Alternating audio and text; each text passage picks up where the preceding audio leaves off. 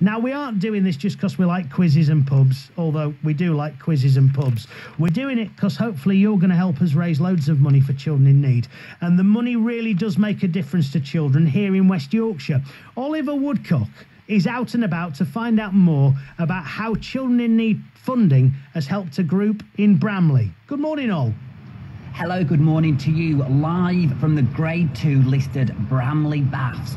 Already swimmers in the background this morning having an early morning swim. We are poolside and this baths dates back to 1904, run by a community-led enterprise since 2013. And this old Edwardian pool is due to receive a £500,000 makeover. We're going to find out more about the Children in Need funding in a moment, but let's quickly touch on that makeover. It's a historic swimming pool here in Leeds. As I said, £500,000 makeover to make it more envir environmentally friendly. Courtney Harrison's the operations manager here. Courtney, tell me about the funding. Um, well, the investment, it's going to ensure that the building is going to be running effectively and efficiently. Um, it'll also be easier to manage for, for us. Um, so this inv investment will also allow us to focus on improving other parts of the building in the long term um, and in, well, we'll be preserving a historic treasure and a local asset. And for you working here, that must be a massive pat on the back, looking to the future. Oh yeah, it's been amazing. Um, I mean, the staff that I've helped um, and also the contractors that are going to be working, we, we're really, really thankful. So um, we're looking forward to it.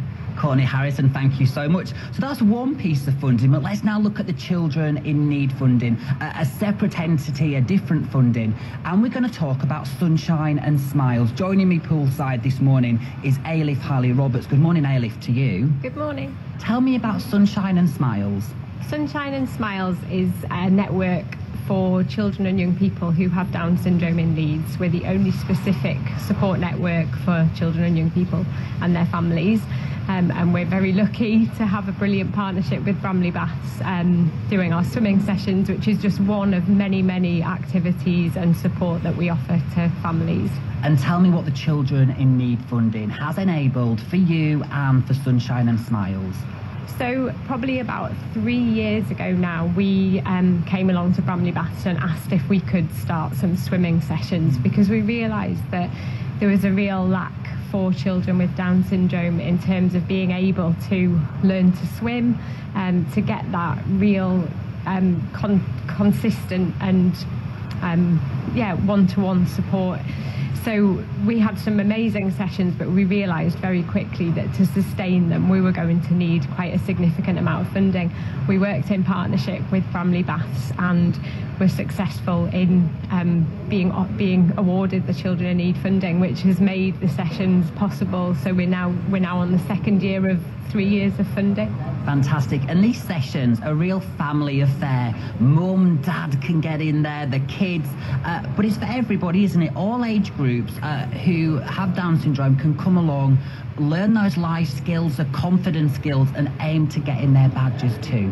Absolutely. So we have tiny babies who come, who it's their first time that they've ever been swimming, and then we have young people who are 20, 21, 22, who are all working, you know, on their own individual skills. Um, it, it is a family session. The taught part of it is hugely important because, as you say, that gives people confidence to go and swim in their local pool, to swim with their families elsewhere.